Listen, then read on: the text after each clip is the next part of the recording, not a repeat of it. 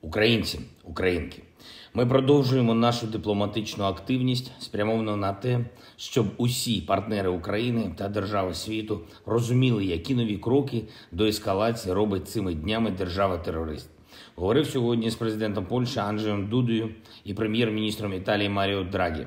Провів зустрічі з спікером Національної асамблеї Франції. Дякую партнерам за чітке засудження російських псевдореферендумів, за засудження спроби анексії нашої території, яка готується Кремлем зараз. Я дякую нашим польським братам за безцінну оборонну підтримку та нашу взаємодію заради спільної безпеки. І сьогодні в розмові з Анджеєм Дудою, з паном президентом, обговорили, як ми можемо ще зміцнити ці наші відносини. Обговорили також і транскордонну співпрацю. Маємо зробити все, щоб у наших народів не було жодної перешкоди для економічних та будь-яких інших відносин.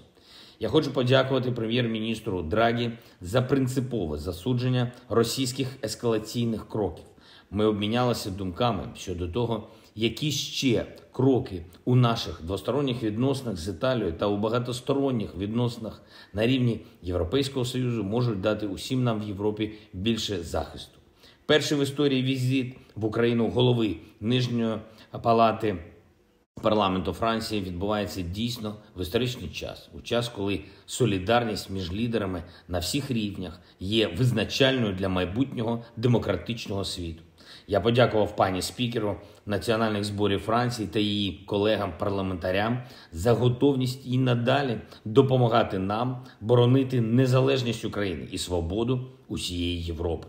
Поспілкувався сьогодні ж з університетською спільнотою і громадськими діячами Швейцарії на базі університету Цюріху. Дуже важливо, що Швейцарія та її громадяни не залишаються нейтральними, а підтримують наше прагнення жити, жити вільно і у мирі. Всі у світі добре розуміють, що насправді означатиме така спроба анексії. Вона означатиме не те, на що сподіваються в Кремлі. Сегодня я объяснил это народам Кавказа, Сибири и другим коренным народам России. А теперь повторяю для всех в этой стране. Россия не получит новую территорию Украины. Россия присоединит себя к той катастрофе, которую она принесла на оккупированную территорию нашей страны. Россия приравняет себя к так называемым ДНР и ЛНР, окончательно добьет те институции нормальной государственности, которые в России еще оставались.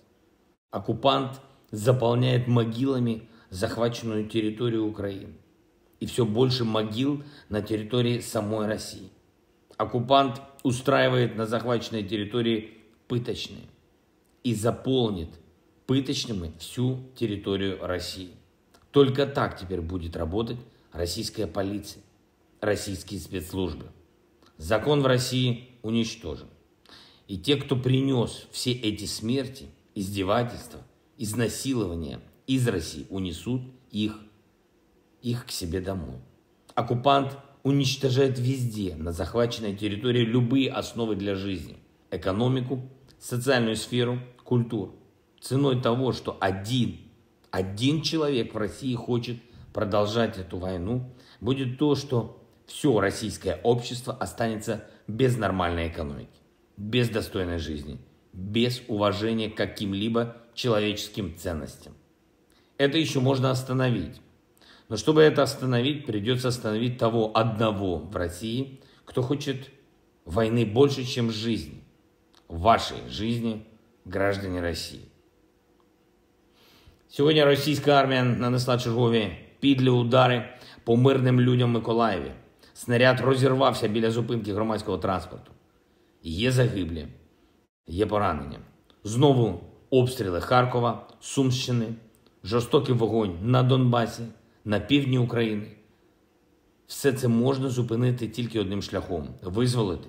І поки Росія не прийшла всюди, на українській землі було нормальне життя. І коли Росія піде, коли ми її витиснемо, нормальне життя повернеться. І це єдиний шлях. Це шлях до нашої перемоги. Не можемо знати, скільки часу потрібно, щоб пройти цим шляхом, але знаємо, що жодна російська маніпуляція і жоден російський злочин не здатні зіштовхнути нас з цього шляху. Сьогодні вдалося забезпечити звільнення ще шістьох наших громадян з російського полону. Я дякую всім, хто забезпечує цю роботу. Сьогодні маємо нові результати на передовій.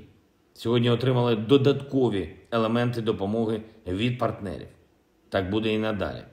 Завтра ще один день нашої боротьби, ще один день на шляху до перемоги. Чи буде він особливий для нас? Цей день стане ще одним, який наблизить нас до безпеки і миру, до відновлення нашої територіальної цілісності, бо заради цього воюють і працюють мільйони українців. Завтра відбудеться спеціальне засідання РНБО, яке я скликав. Будуть рішення. І ми знаємо, як реагувати на будь-які російські дії. І наостанок. Сьогодні вранці я вшанував пам'ять усіх жертв розстрілів у Бабиному Яру, вічна пам'ять жертвам нацизму, вічне прокляття тим, хто повторює злочини нацистів. Слава Україні!